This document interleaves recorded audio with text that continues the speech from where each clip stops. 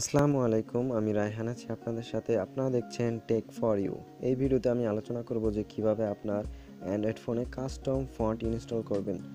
Normally আমরা দেখি যে স্যাম স্যামসাং ফোনে কাস্টম ফন্ট বা নর্মাল ফোন ইনস্টল করার মতো অপশন রয়েছে, কিন্তু চায়না ফোনে সাধারণত এই অপশনটি থাকে না।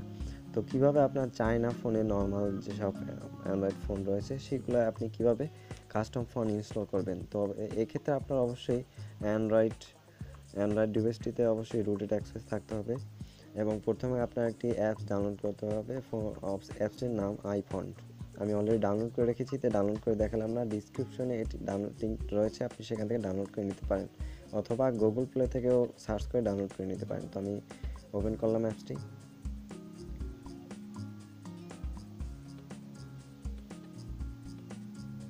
এখানে ফাইন্ড অপশনে যাবেন। দেখবেন ফন্ট অল নামে একটি অপশন রয়েছে।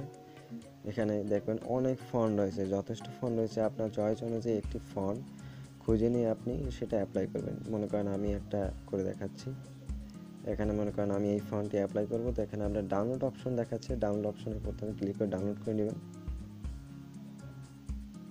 ওকে ডাউনলোড এখানে কমপ্লিট হয়ে গেছে। এবার আপনি সেট অপশনে ক্লিক করবেন। প্লিজ ওয়েট দেখাচ্ছে। এখানে আপনার গ্রান্ট অ্যাক্সেস চাইলে আপনি গ্রান্ট করে দেবেন, রুট।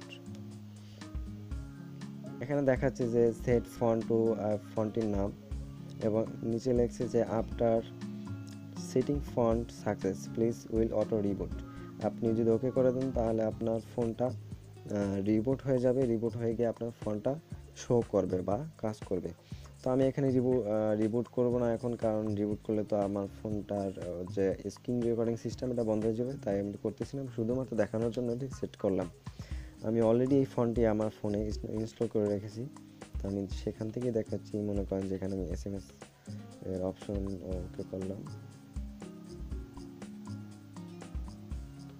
দেখেন যে এখানে যে লেখাটা আছে, এই লেখাটার ফন্টটা নর্মাল নাই এটা একটু ওই যে ফন্টটা আমি ইনস্টল করছি, ঠিক ঠিক সেই রকম দেখাচ্ছে। তো আপনি এরকমভাবে আপনার ফন্ট ইনস্টল করতে পারেন আপনার অ্যান্ড্রয়েড ডিভাইসে আই ফন্ট অ্যাপস ব্যবহার করে। ওকে তো এই ভিডিওটা যদি আপনাদের ভালো লাগে থাকে, অবশ্যই একটা লাইক দেবেন এবং সাবস্ক্রাইব করতে ভুলবেন না। কোনো ধরনের মতামত থাকলে আপনি কমেন্ট বক্সে কমেন্ট করে জানাতে পারেন।